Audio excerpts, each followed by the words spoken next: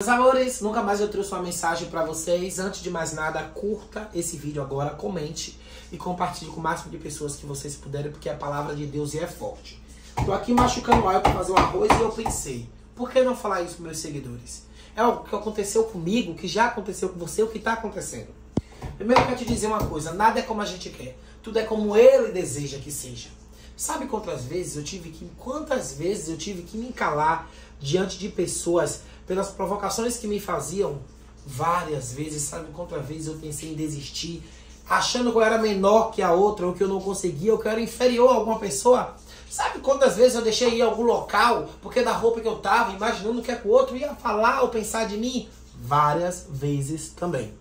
Quantas vezes eu disse, tá bom, mesmo estando certo, me passei por errado, saí pela porta que entrei? Várias vezes. Às vezes a gente precisa entender que a gente é obrigado a passar por situações para chegar ao propósito onde Deus quer que a gente chegue. E nem sempre onde o seu propósito, onde é que você vai chegar, que A e B vai estar com você. Sabe por quê? Onde Deus quer te honrar, não cabe todo mundo. Onde Deus quer te honrar, Ele quer honrar você. Não é A, não é B, nem é C. É você. É você. Então espia, não para por aí não, viu? E as vezes que eu me vi sem chão, ferido, traído, por pessoas que eu acreditava que eram de verdade comigo, eu pensava que, era, que eram meus amigos. Pessoas que eu botei dentro da minha casa, no meu quarto, conheceu minha intimidade. E eu chorei lágrimas porque de cada um dessa pessoa várias vezes também. Sabe quantas vezes eu me fingi de cego, vendo e fingindo que não vê, percebendo o descaso, a maldade de outra pessoa sobre mim, mas eu não dando a maior ligança para não ter que revidar inúmeras vezes. E não foi poucas, foi diversas. E sei que você pode estar tá passando por isso agora, alguém da sua família, seu vizinho aí do lado. Tem gente que vê ao mundo a, com, com, com, como é que fala? Com o dom do sofrimento. Vai sofrer, mas você não está sozinho e esse sofrimento não é eterno. Meu Deus, isso é só uma tempestade. E pode se preparar, que pode vir outra tempestade, outra tempestade. Mas em todas essas tempestades, Deus está contigo, tá bom? Só quero dizer que em todos esses contratempos, Ele está contigo. Você não está sozinho. Você não está sozinha. E você não é perdedor, você é vencedor. Você vê o mundo para vencer. Você não está aqui à toa, você tem um propósito, você tem uma história, você tem um nome. Levante essa sua cabeça. Faça como você está fazendo, não revide, não se iguale aos malfeitos.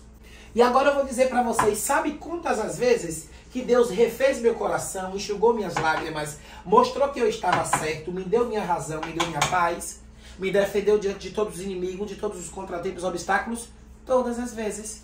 Por isso eu quero dizer para você que nada é como você quer, e é assim como ele quer, e tudo é com permissão dele. E você pode passar por tempestade qual for, mas você não está sozinho, você está com ele. Mesmo que você não veja, não perceba, Deus está contigo sim. Essas lágrimas que correm no seu olho aí, você não está chorando sozinho, ele está chorando contigo.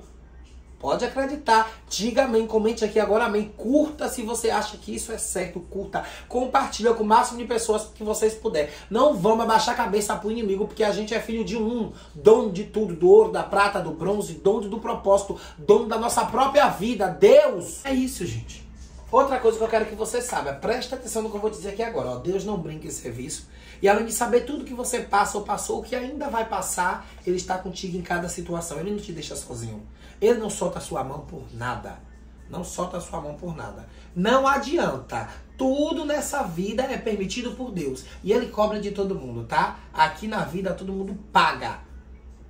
Todo mundo que faz aquilo que faz, recebe de volta.